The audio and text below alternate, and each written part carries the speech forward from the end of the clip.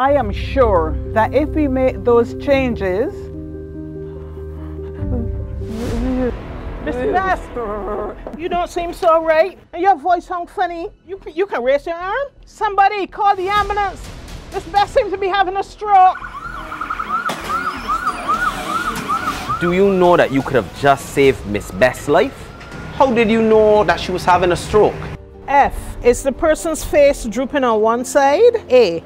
Are there any signs of weakness or numbness in their arms? S. Are words jumbled or slurred? T.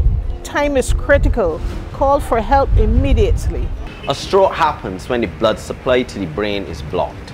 Part of the brain dies, and then that is a major cause of death and disability. It can happen to anyone, at any time, at any place, and at any age. We can all help people who are having strokes if we recognize the symptoms, think and act fast. This is a message from the Ministry of Health and Wellness.